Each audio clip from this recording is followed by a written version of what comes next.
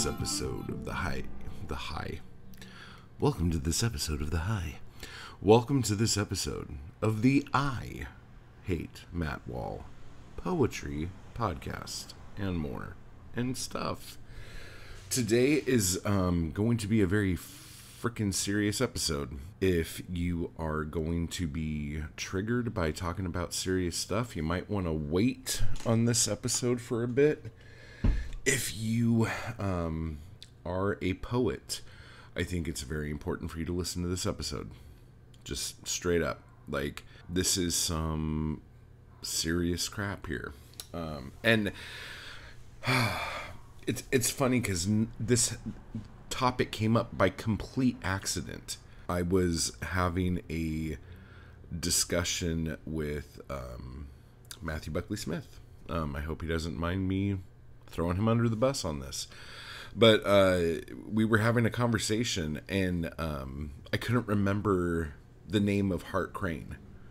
Like I couldn't remember. Like I'm like, oh, that dude who freaking dove into the propeller of a ship. Ah, and I couldn't remember his name. And so I'm Googling it. And then the first thing that pops up is this thing that we're going to be talking about here in a minute. So before we get too far into this, let me try to fun this up a little bit and then we'll get into the serious shit. When you are hearing this episode, I will be lounging in a cowboy pool in the desert, trying to effing relax. We will see how that goes. Just because I'm out of town, chillaxing with what I just saw an ad for today Bud Light Chelada with Tajín. Are you effing kidding me? Sign me up. You can still find out what it's like to see me as an action figure. Okay? This is my new chapbook for the month of April, which is almost over. Um, it's got uh, one, two, three, four, five, six, seven, eight, nine, ten, eleven poems in here, and I will tell you what they're called. I guess. Um, Kenny and Annie, the prettiest girl in sixth grade. Chicks got it made. Time ticks by like the wings of a hummingbird. For Charlie. Liquor shanty. Blue eyes at five o'clock my hometown current year. It could happen again, maybe. First kiss and the lunchbox. So, these poems are about my childhood, kind of a nostalgic look at things. Um, a couple of the poems are like from me is like, I mean, one of them's from me is like a toddler. So that that's a fun thing to think about. Um, but yeah, so there's uh, qu- quite a few fun little ones in here. One of these uh, makes me extremely emotional, and it's weird. Um, I'm not going to do it today because I just I can't handle it right now. But one of the poems in here I wrote probably a couple years ago. When I wrote it, I was bawling my eyes out as I was typing, and then I read it probably a year ago thinking about putting it into a collection, and I read it and I started crying, and I couldn't fucking. I'm like, I, I don't even want to look at this fucking poem. And then when I was putting this book together, I'm like, if I'm ever gonna put that poem into something, this is the book I'm gonna put it into. And I read it when I was trying to do my edit on it, just making sure everything was spelt right and shit. Started crying like a fucking baby. So whatever. So this is me as an action figure. And for those of you who are just listening to the audio, it's on this beautiful gold metallic paper. It is my head on a He-Man figure. And the me as an action figure is supposed to kind of look like the font of like the Masters of the Universe stuff. It's not quite it, but it was the closest I could find. Um, but it's a beautiful book. I love the way it turned out. So so that'll be over at my Etsy shop. Links will be down below. And really quick, let's get into those motherfucking shoutouts. Okay, so here we go.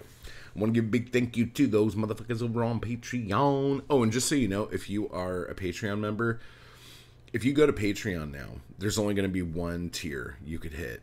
I think I only have one on there now, but it's the $5 tier. And I think what I'm going to do to make that different is that I, I know I've done all sorts of things and I've done postcards, I've done all this shit and whatever. I think I'm just going to put like one new poem um, up on Patreon a week, even though I hate the way my poems look when um, they go up on Patreon. So in the past, I was taking pictures, like screenshots, because I just I, I think the format of Patreon just does not look nice. But if you are one of those people who don't want to do the YouTube thing and would rather do Patreon, that's what will be there for you. So thank you to Michael, to Cedar, to Harry. I appreciate you guys. Thank you so much. Over at the YouTube thank you crew, I want to give a thank you to Patrick, to Britt, to JH, to Jan, and to Deb, and a big thank you to our newest thank you fucker over there, Ethan. Thank you so much. And then over in the Anarchy crew, I want to give a thank you to Bunny, to Nate, to Minnie, to Thomas, to Tim, to Shaylin, to Tim, to Chill Baby, to Tamara, and to Adam. You guys are awesome. Thank you so much. And then for the biggest swinging pendulums, we have the people in the Chapbook of the Month Club over there on YouTube's. I want to give a thank you to Caitlin and to Chase. You guys are the shit. Thank you so much. And now, on with the show.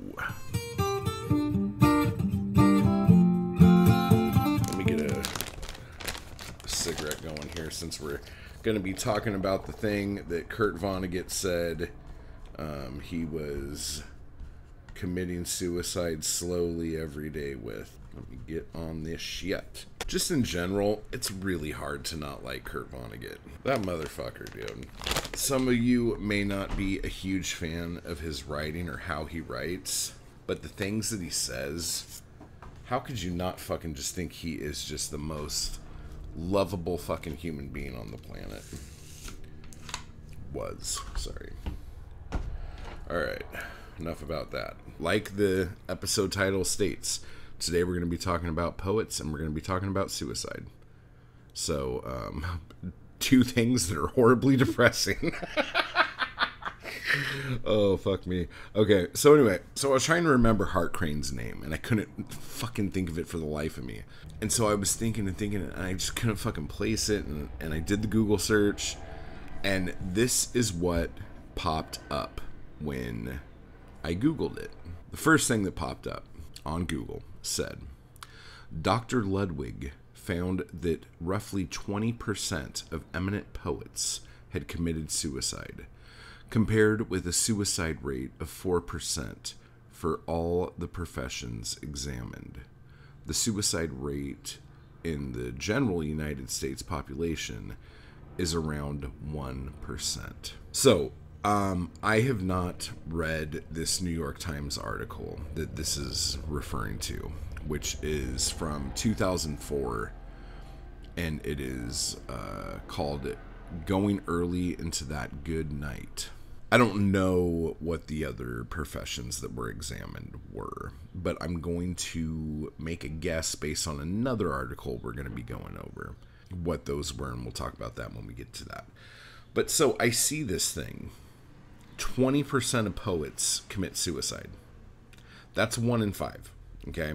That means, like, according to this, if you belong to a writer's group or you get together with a bunch of poets and you guys, like, write poetry and share it back and forth and all this other stuff. According to this, I mean, I guess if you are eminent, okay, but you know, whatever there's other studies that show kind of the same thing here. But that means, like, let's say there's 10 people in that group. Let's see if I can fucking do math here. If there's 10 people in that group that you do this with, two of those poets will commit suicide. That's fucking crazy. That is shocking. That is fucking terrifying. Okay? But it also makes a lot of sense. I could totally see it. I'm thinking about this and I'm like, okay, so this article was from 2004. That was a bit ago. And I think the actual study was done in the mid 90s that Dr. Ludwig has done here. So when I was talking to Bucks about this, like he looked up some stuff because he was also shocked by these numbers. And he looked up something else and found this thing from Malcolm Gladwell uh, that was posted in 2019, the end of 2019. Now, what I'm going to say is that these numbers, I think, might be a little different now if the, all of the actual studies we have are pre COVID. I'm going to go out on a fucking limb here and say that COVID, especially when it comes to any form of death, any study that measures the death of certain groups of people, because of COVID and the pandemic and the lockdown, I think all numbers are going to be totally fucking skewed for like probably the next 10 years. This might be the closest thing we have, but at the same time, Malcolm Gladwell might just be talking about the shit that he found when he Googled this. But anyway, so I guess Malcolm Gladwell had something called Talking to Strangers in 2019. And this is called Poets Die Young. And it's a selection from that. Poets die young. That is not just a cliche. The life expectancy of poets as a group trails playwrights, novelists, and nonfiction writers by a considerable margin. They have higher rates of emotional disorders than actors, musicians, composers, and novelists. In every occupational category, poets have far and away the highest suicide rates, as much as five times higher than the general population. Something about writing poetry appears either to attract the wounded or to open new wounds. And few have so perfectly embodied that image of the doomed genius as Sylvia Plath. Now, real quick, this is what I don't like when I'm reading stuff that has factual shit in it. Okay? That sounds funny, but hear me out when someone starts throwing facts out, okay, talking about like numbers and blah, blah, blah, blah, blah, and then says something about writing poetry appears either to attract the wounded or open new wounds. When you start throwing opinions after facts, and I know like every editorial, this is what that is, but a lot of people don't see when the um, train tracks change you know like they just keep reading and they're like oh all of this is fact so this is an assumption and i really think that poetry attracts the wounded much more than opens new wounds. Like i don't think a poet out there is like oh man i just love poetry. Poetry's so fun. I'm writing poetry. Oh my god. Like I've just been brutalized by my poetry. Like opening new wounds is not something I think poetry ever has done. Okay?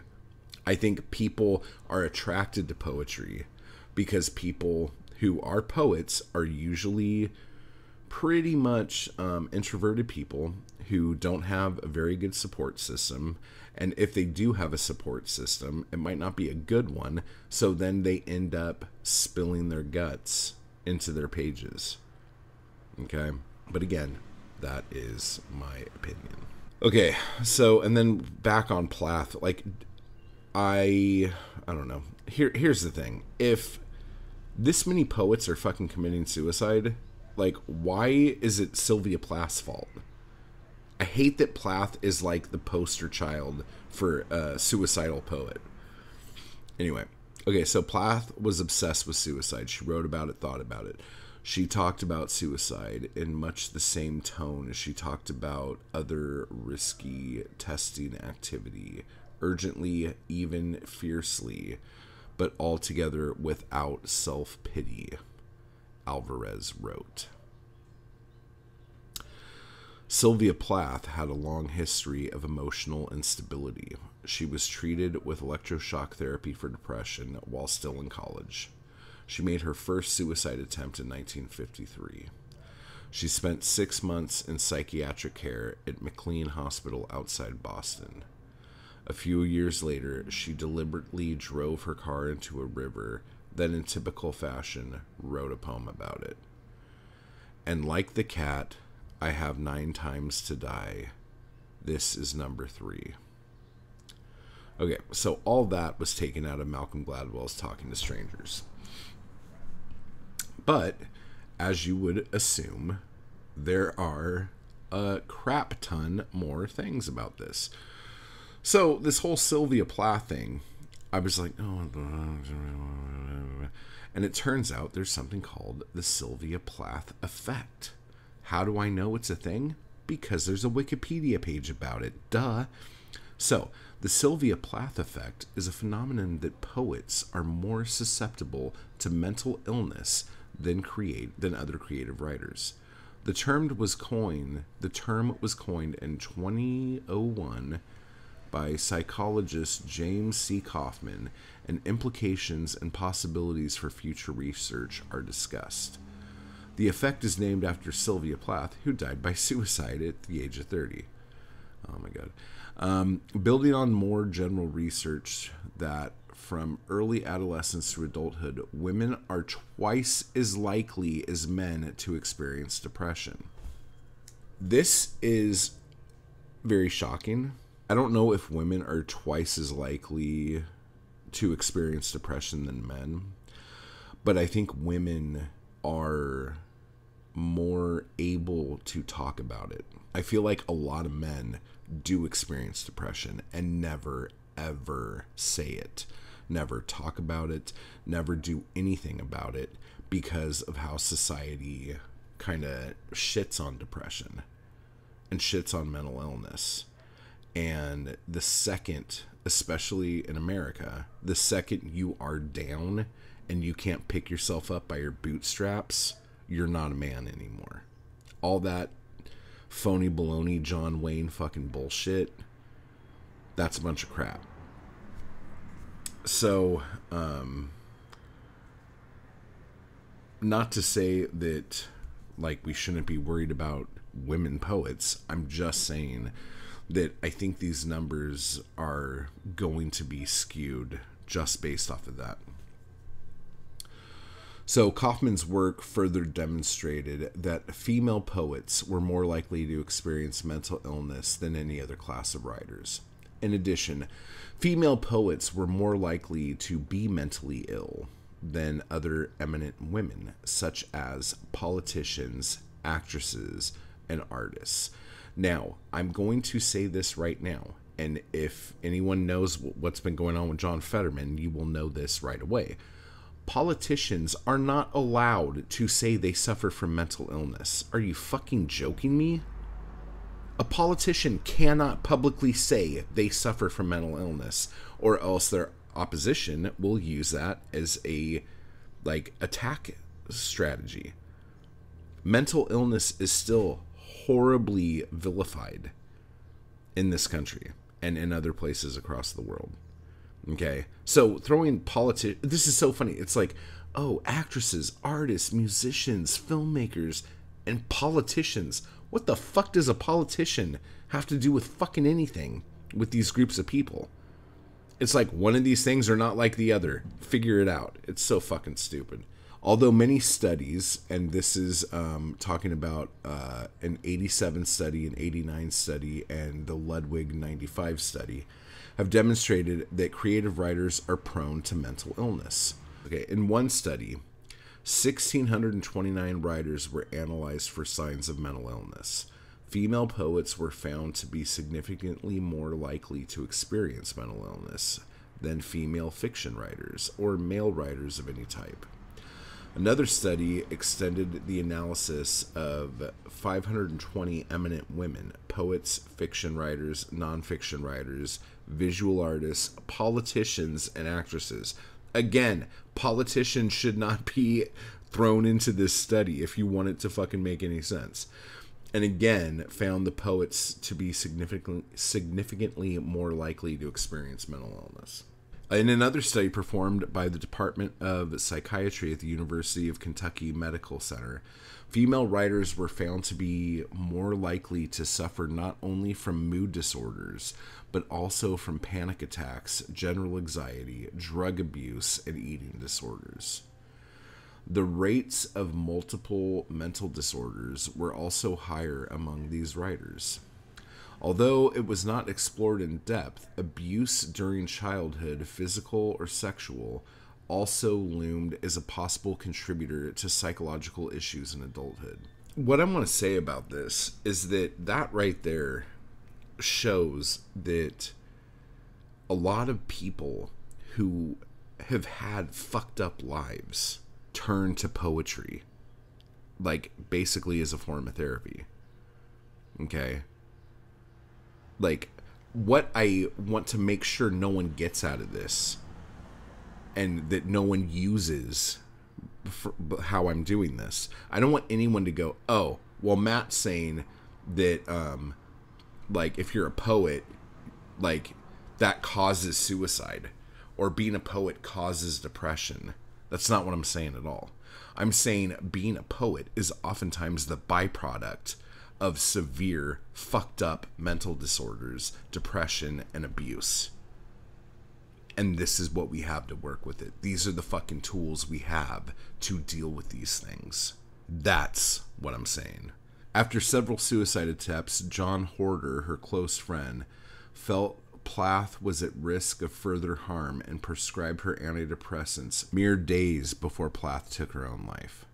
He also visited with her daily and made many attempts to have her admitted to a hospital. Upon her refusal, he made arrangements for a live in nurse. Some critics have argued that because antidepressants usually take up to three weeks to take effect, her prescription from Horder may not have been of any help. Others say that Plath's American doctor had warned her never again to take the antidepressant drug prescribed by Horder, as it was found to worsen her depression. But he supposedly prescribed it under a proprietary name, which she did not recognize. Here is what I'll say, and because this is something that has actually come up very recently in my live streams with people who I've been talking to and stuff when you are taking antidepressants, a lot of people will say, they will give you this argument that antidepressants worsen depression. A lot of people say that antidepressants cause depression, cause suicide.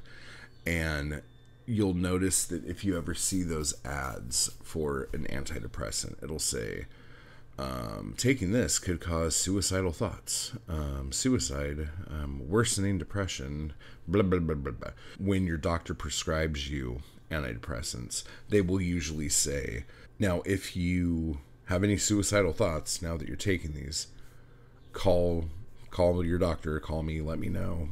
There are reasons for this, okay? And one of the reasons for this is is that a it takes so fucking long for most people to fucking see a doctor about this okay? Like you're usually like you see a doctor and then you have to wait three weeks or three months to be able to see um, a psychologist. And then you go to the psychologist tell the psychologist all your problems and then your psychologist is like wow you really should see a psychiatrist and try to get some medicine for this so let's set an appointment up for that. And then that takes another couple months anywhere from a few weeks to a couple months and then so by the time you are seeing the psychiatrist usually you are so fucking far gone that waiting another three weeks for the medicine to kick in might be too late okay? The other thing here is there are a lot of people who feel like once they are taking antidepressants that they must be really fucked up and the idea of taking something that's supposed to help you like trigger something in a lot of people that oh man i'm one of those now. I'm so far off the deep end. Or the people in your life like your family and your friends start like vilifying you for having to fucking take that because you're too fucking crazy to fucking live without it and you're too much of a fucking coward to face life the right way. All that's bullshit. Don't ever fucking listen to motherfuckers who say shit like that. Okay? It does take a while for meds to work. And I've talked about this before. I've talked about the whole thing I had with Pharma Phoenix Rises and the whole fucking thing. Just because you get prescribed some medication does not mean things are going to get fixed because a lot of times the medication that you get is not right for you. So it is a process, and you have to be very open with your psychiatrist about this and say, like, how you're feeling, if you like this medicine, if you don't like this medicine, and then explain why you don't like it. For the longest time, it was really hard for me to be able to be on antidepressants because when I was on antidepressants, I couldn't do anything. Like it just like like completely fucked me up. And then when there were some that were kind of making me like feel better, like I still couldn't create. And when I can't create, that causes a whole other fucking depression I have. But there were times when I felt like my head was like in a pillow or my head was like in like a bunch of cotton. And there was just like a lot of pressure. And that was driving me crazy you know? Um, there were other pills i took that just made me completely almost catatonic. Like i'm just like laying on a couch. Like i remember one time when i was on this medication uh, i ended up watching the fucking view because I couldn't be bothered to get up to get the remote to change the channel. I'm like, eh, this is my life now. I'll just watch this. And it was awful. And I was miserable, but I just did not have the will to get up off the couch to change the channel. But when you do find something that works, that's a cool thing. Like it's amazing when like you could actually start feeling better and not have your head feel like it's in a blender. You know what I'm saying? So it is a process. And when you are on medication, so if anyone out there is listening to this fucking episode and you are super fucking depressed and you are either on medication or about to start medication, give yourself a fucking pat on the back because what you have done so far is something huge that a lot of people don't do. You are trying to fucking have a better life. You're trying to fix a problem, and it's not an easy fix. And it is very hard to do, but you are fucking doing it. So fucking good job on you and congratulations for fucking making that happen. And just stick with it because it is a process. And those first three weeks are tricky taking pills every day that are supposed to make you feel better, but you're not feeling anything different, and you're like, what's the fucking point? You just got to stick with it. Three weeks is nothing. You can do that in your sleep, okay? But just know that you're doing the right thing and just be very, very open with your psychiatrist about how you're feeling and the symptoms you're feeling and the symptoms that you don't like and between ch- trying different medications and adding medications together, you will eventually be able to find something that works for you and makes you feel better. Okay, so enough of me on my high horse there. Suicide is a fucking horrifying thing. And um, I can't remember what the study was that I saw, but um, oh, if I can't remember it, I shouldn't talk about it. But there is a growing number of people who know a family member who has committed suicide. And that's kind of heavy, you know.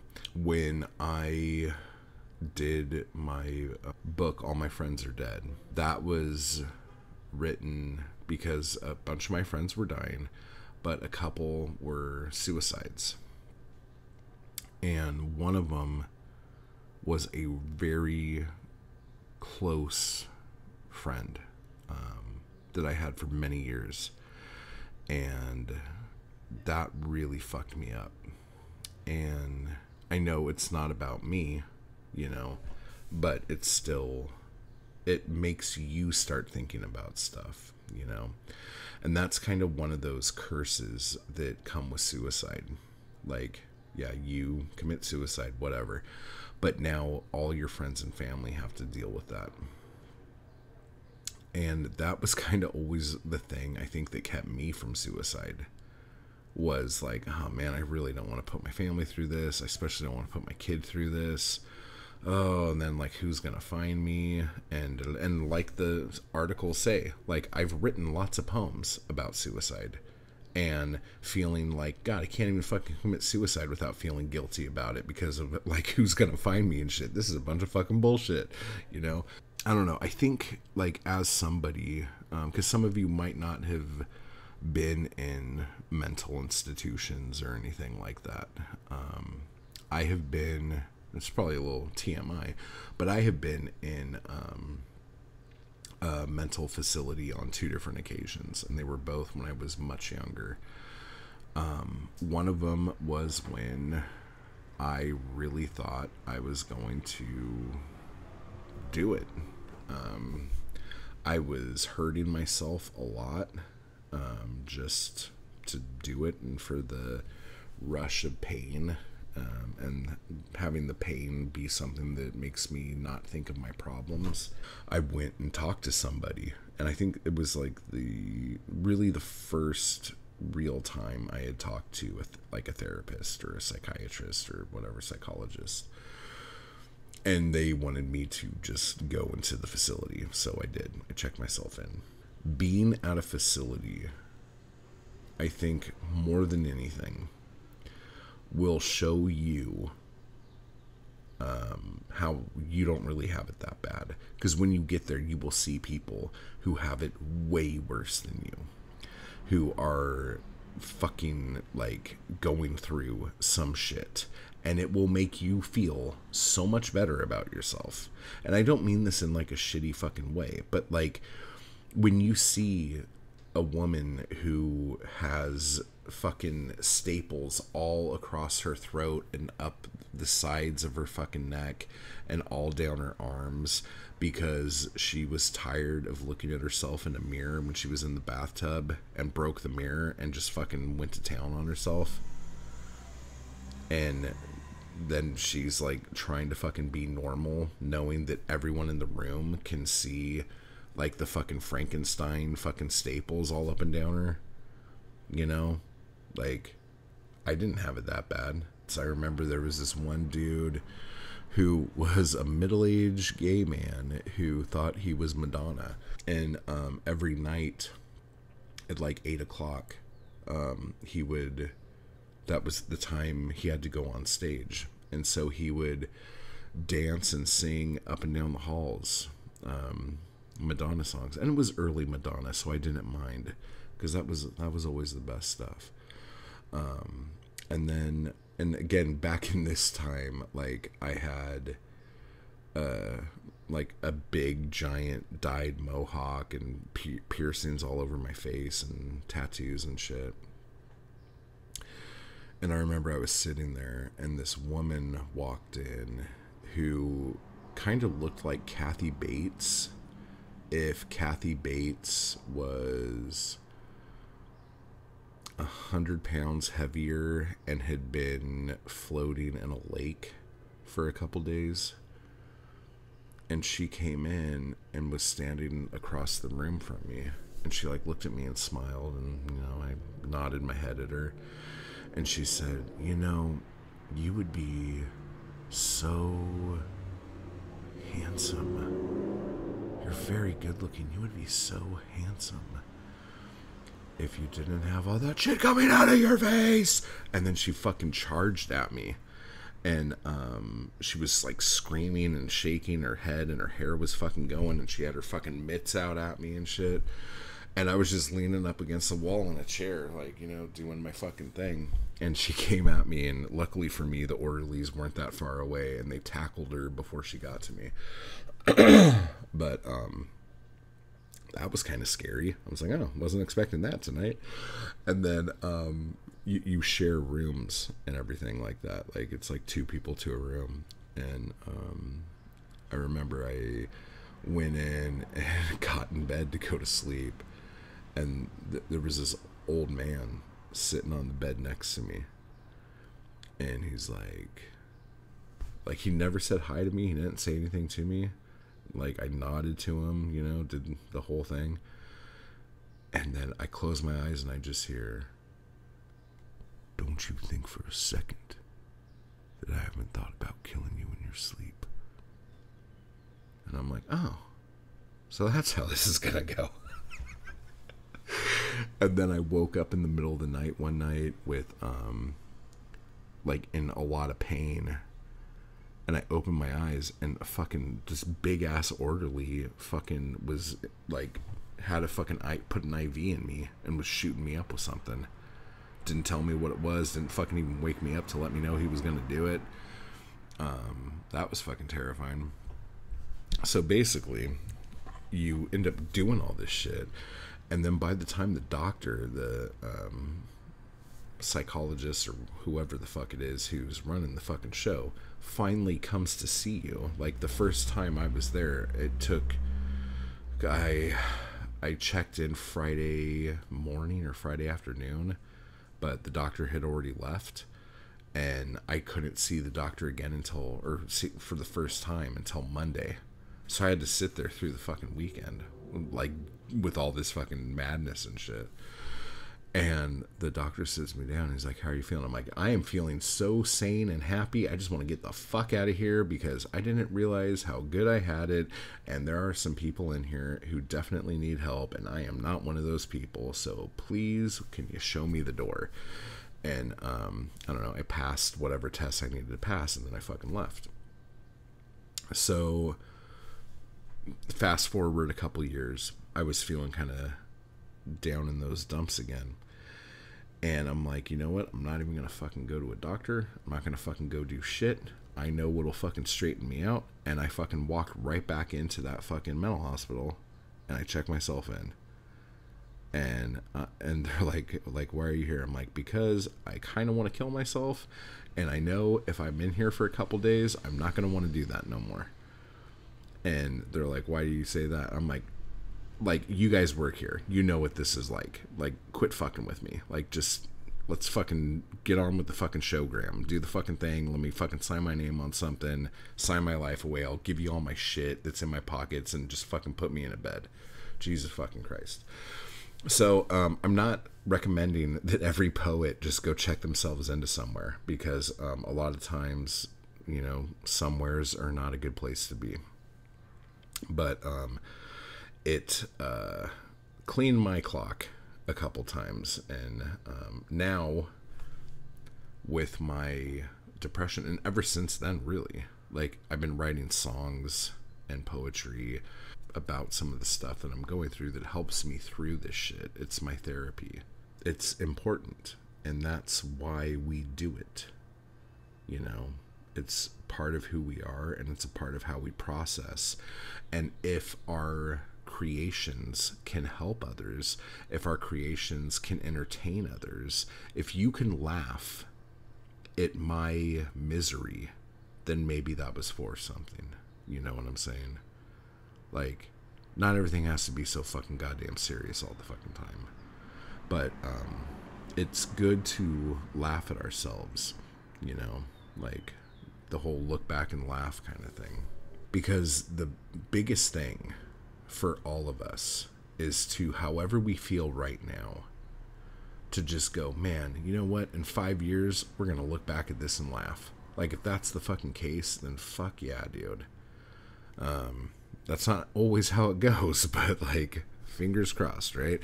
Okay. Um, and then the last thing I want to really get into with this, um, and I'm going to try to leave like good notes in the notes of this here. A while back, I was not a while back because it hasn't been that long actually. This was only um, April 10th.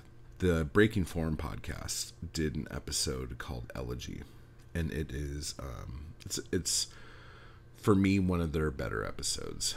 Um, but they have a lot of links in their show notes, and um, I'm gonna have those um, in here as well. Text or call 988 for a 24 hour suicide hotline. Okay. Like if you are feeling, um, like I don't want you guys to be those statistics. Like I don't want us to be that 20%. You know what I'm saying? The last thing they had in here, and I think it's something that's important to have in this, uh, is the um, number for the Trevor Project 866 4U Trevor, T R E V O R. Um, so, again, all this stuff will be down in the notes. But I want to say, too, you know what? I'm going to go get it. I'm going to go get it. Hang on. When I say I'm going to go get something, I really need to make sure I know where that thing is. This is a, um, this is out of uh, On the Walls and in the Streets American Poetry Broadsides from the 1960s by James D. Sullivan. I'm not a huge fan of this book, although it is one of the only books I could find that has some of this information in it. But in this book, it has um, a broadside by um, Etheridge Knight, who has a poem in here called For Black Poets Who Think of Suicide. And I'll show you what, it, what the broadside looks like there. So you can take a look at it. But I'm going to read this poem to you. Sorry, this print is really small. Black poets should live, not leap, from steel bridges like the white boys do. Black poets should live, not lay their necks on railroad tracks like the white boys do. Black poets should seek, but not search too much, in sweet dark caves, nor hunt for snipes down psychic trails like the white boys do. For black poets belong to black people. Art the flutes of black lovers. Oh, wait, no, sorry. Are the flutes of black lovers. Are the organs of black sorrows. Are the trumpets of black warriors let all black poets die as trumpets and not be bur- buried in the dust of marching feet. So that's just like, even in the 60s, okay? Some like, what would that be? 50 or 60 fucking years ago now. Other poets knew that other poets killed themselves. Okay? This has been like a serious problem for a very long time. It's just shocking when you see what the numbers are. When only 1% of Americans commit suicide and 20% of poets commit suicide. And female poets are more likely to do that than male poets. That's crazy it's just it's something that we need to talk about and something that we need to understand and something that other poets need to be there for other poets because of this. Okay? So that's all i'll say about it. Um, check those numbers out and hotlines out and stuff like that. And i will talk to you all later I just want to give a quick thanks to those people who make these videos possible. Anarchy Crew and my followers on Patreon. I appreciate the hell out of you guys, and thank you so much for keeping me going to keep this content possible. You guys are awesome. And if you'd like to join the crew or the Anarchy Crew, just hit the join button beneath this video. And if you'd like to become a member of my Patreon, you can run over to the link down below to do that as well. Thank you.